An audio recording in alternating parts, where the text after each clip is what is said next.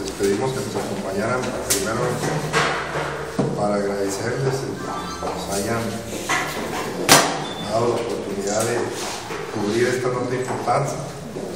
Y por supuesto, tengo que aprovechar la oportunidad que me brindan ustedes para agradecer al presidente municipal eh, la hospitalidad que nos, que nos brinda, igual a la síndica del municipio, que es la anfitriona de una reunión, taller de la Asociación Estatal de Síndicos Municipales del Estado de Chihuahua.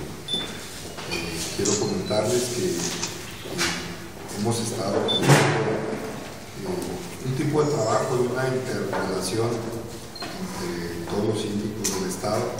Nos reunimos en diciembre, 25, eh, perdón, 65 síndicos de 67 que somos en todo el Estado. Eh, nosotros no se disculparon por cuestiones de salud, eh, pero bueno, la información implica que nunca en la historia de la, sindicatura había habido una convocatoria tal como la que tuvimos. Hoy eh, estamos visitando este hermoso municipio de Casas Grandes con la finalidad de reunirnos. Lo hicimos hace aproximadamente 10 días en Ciudad Juárez y tiene la idea o el objetivo de poder tener una eh, taller de capacitación eh, que nos permita obviamente ir generando mayores expectativas en cuanto al trabajo y desempeño de los síndicos. Estamos tratando de hacer llegar eh, el mensaje a los municipios, a los presidentes municipales, de que las sindicaturas entendemos que somos coadyuvantes en la administración del municipio, no somos enemigos de la autoridad municipal, pero que somos una autoridad fiscalizadora de los recursos. Eh, en muchos municipios del estado hay una presencia muy débil de la sindicatura, hay una presencia en donde el síndico no es tomado en cuenta como la autoridad que es, por supuesto que no es el caso de Casas Grandes, eh, en donde no es el caso de Nuevo Casas Grandes, donde hay, eh, a pesar de ser provenir de ideologías partidistas distintas, existe una colaboración muy estrecha y un apoyo por parte de la presidencia municipal y del sindicato. Esta debilidad en algunos puntos del municipio nos obliga a juntarnos y a trabajar de manera conjunta para respaldarnos, para solidarizarnos con el esfuerzo, pero además la primicia que queremos dejar en esta ciudad es que estamos trabajando de la mano con la Autoridad Superior del Estado. Hoy el curso de capacitación que el taller que se está llevando a cabo este día lo está impartiendo personal de la auditoría, son auditores todos los que están dando este taller que están abriendo camino para que la sindicatura se fortalezca en cada uno de los municipios. Estamos impulsando un proyecto como asociación de, síndicos del Estado, un proyecto de, de auditorías conjuntas entre la sindicatura, el personal de la sindicatura y la Auditoría Superior del Estado y estamos impulsando también un proyecto muy ambicioso con la Contraloría del Estado de Chihuahua. Son entes que somos independientes, pero estamos tratando de formar un círculo virtuoso que permita que todas las revisiones que hagan los síndicos tengan el respaldo y el peso de los entes fiscalizadores del Estado. Ese es el motivo por el que estamos aquí. No sé si ustedes tengan alguna pregunta a la cual responderíamos con mucho gusto. Ahorita en la reunión mencionaba de que los síndicos se deben de creer ese papel, o sea, deben de creerse que realmente son fiscalizadores. Pero ¿cómo, cómo hacerles ver esta situación? O sea, romper ese esquema, de repente que la relación entre presidente y síndico es demasiado buena, demasiado buena, que no se hacen los señalamientos. No. ¿Cómo hacer entender eso?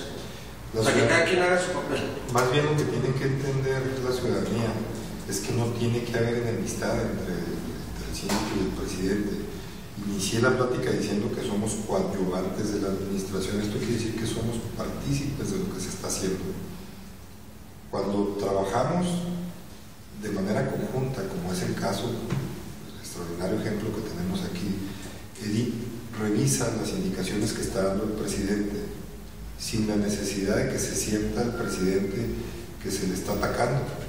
Se hace una revisión para que las órdenes que él está dando se cumplan de la manera legal, primero que, nada, y segundo, conforme a la indicación de la presidencia municipal. Entonces, el síndico, cuando revisa y audita, eh, tiene que venir con el presidente si hay una buena relación para que se resuelvan las cosas. Si encontramos alguna persona que se está, eh, y es un ejemplo únicamente, si encontramos un desvío de recursos y lo dejamos suelto, el síndico no tiene funciones, no tiene facultades para actuar en consecuencia. El presidente municipal sí. Si detectamos un funcionario que está haciendo mal uso de su puesto, el presidente municipal es el que tiene que poner orden. Y de ahí va de la mano la buena relación que debe tener la sindicatura y la presidencia municipal. ¿Hay algún argumento para que, válido para que el síndico no presente su informe trimestral? Válido, no. Simplemente que no esté cumpliendo con su responsabilidad.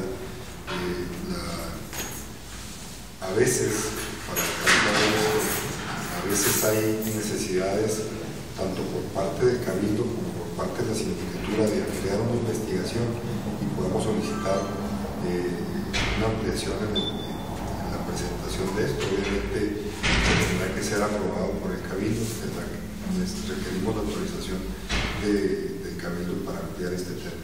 Hay municipios que por su propia naturaleza, el tamaño del municipio tan pequeño que es, eh, no puede haber tantas licitaciones o no puede haber tantas asignaciones ahí. ¿Qué papel juega el síndico para determinar si es válida o no válida una asignación para compras o para obras? Es la misma, el, síndico eh, tiene sus facultades enmarcadas en la Constitución Política de México, en la Constitución Política del Estado y las demás leyes que de ahí se Estamos presentes eh, en, todas las leyes y se nos marca muy claramente cuáles son eh, los lineamientos y los parámetros que debe seguir el, el.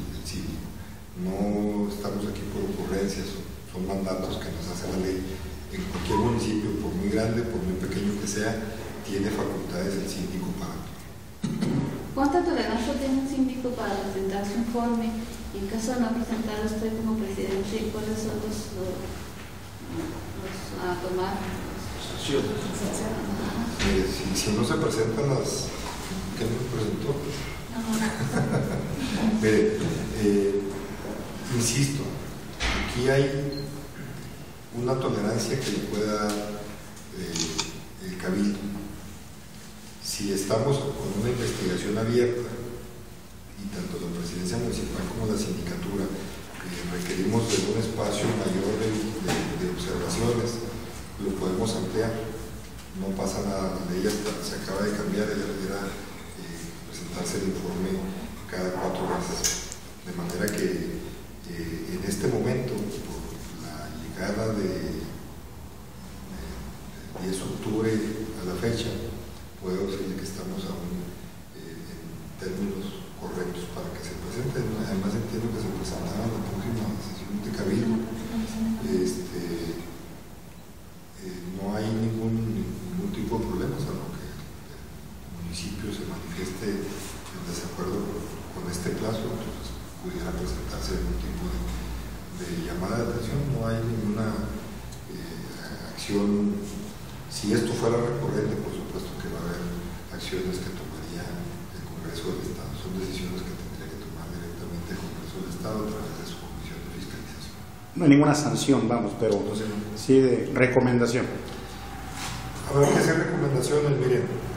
La, función la función del síndico se lleva a cabo tradicionalmente con observaciones si la síndico está revisando cualquier dirección del municipio, cuando termina, tiene que presentar las observaciones a la dirección, la dirección tiene que dar la respuesta de lo que se está encontrando.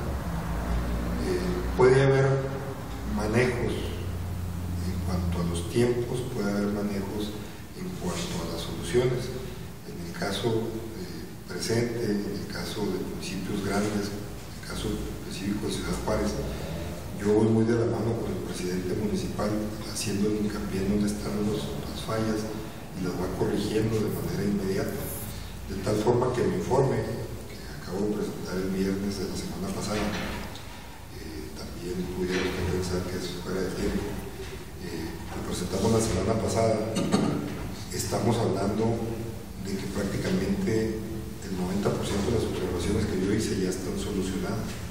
Pudiéramos decir que es un informe caduco, porque todo lo que dije que había ya no existe. Pero esa es la función del síndico, que se resuelvan las cosas que se están haciendo. ¿Tiene reuniones periódicas con el presidente? Eh, no es una reunión muy periódica, nos hemos reunido en cinco ocasiones en donde hemos visto cada uno de los puntos que le voy planteando para que haya resolución.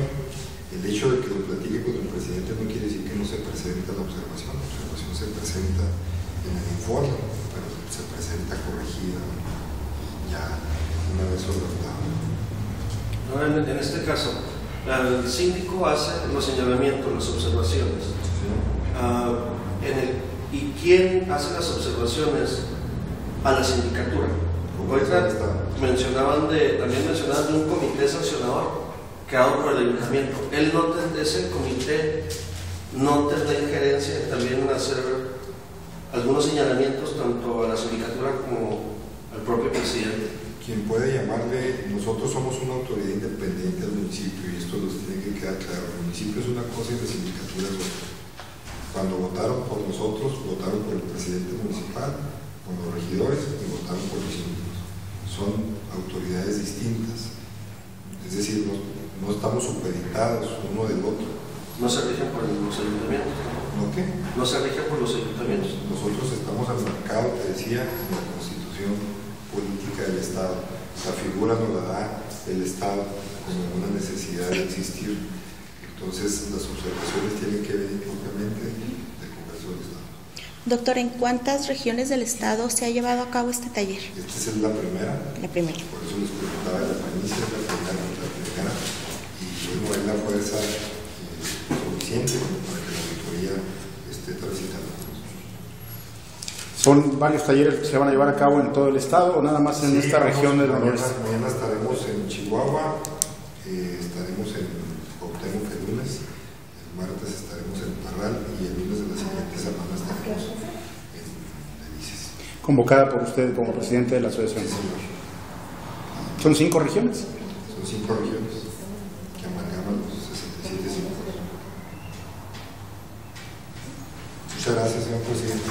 Agradezco mucho su interés, su responsabilidad. Al contrario, al contrario, es eh, para mí como presidente municipal es un honor que la primera reunión de la Asociación de Síndicos del Estado se reúna como grandes. Eh, siéntanse, por favor, con confianza en casa. Eh, Edith, eh, aparte de lo que es eh, la amistad eh, de tipo profesional que nos une, eh, básicamente ella entiende perfectamente bien su papel y lo ejerce.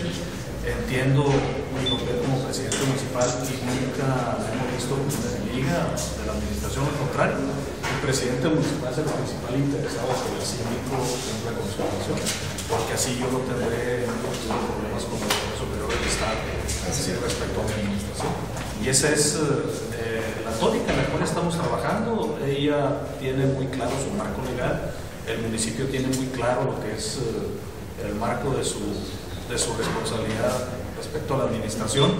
Y básicamente podrá haber eh, en un principio de administración desajuste respecto a normatividad que a veces eh, puede haber diferentes interpretaciones, pero la voluntad es básicamente facilitar el trabajo de las. El presidente municipal es el principal interés. Lo agradecemos mucho. Les aclaro, les subrayo los medios que eh, originalmente esta sesión, esta reunión se iba a llevar a cabo en Ciudad Juárez por razones obvias, y es el, ahí es el presidente. Sin embargo, me la ganó Edith, Edith hizo sus gestiones con algunos síndicos de- por estos lados, de esta zona, pues propiamente, y gracias a las gestiones de ellas que estamos aquí. Muchas gracias. ¿Se hubieran ido hasta Tacay?